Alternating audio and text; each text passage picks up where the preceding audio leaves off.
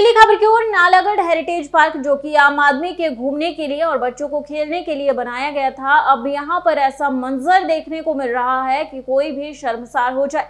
Heritage park में अब नालागढ़ निवासी कोई भी आना पसंद नहीं करते, क्योंकि यहाँ दिन रात अश्लील और नशेड़ी लोग हर वक्त घूमते मिल जाएँगे।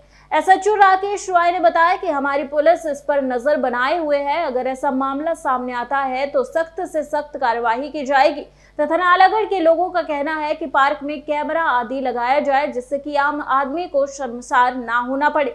नालागढ़ से अनवर हुसैन की रिपोर्ट। यहाँ यहाँ पे जो नालागढ़ के पार्क हैं उसके संदर्भ में शिकायत जो है सूचना और शिकायत यहाँ पर मौखिक तौर पर प्राप्त हुई थाने पर। और इसमें हम ये भी ये आश्वस्त करना चाहते हैं कि वहाँ पे जो नशे वगैरह के जो लोग वहाँ नश, नशेड़ी बैठ रहे हैं जो है और वहाँ का माहौल शांतिपूर्ण रहे।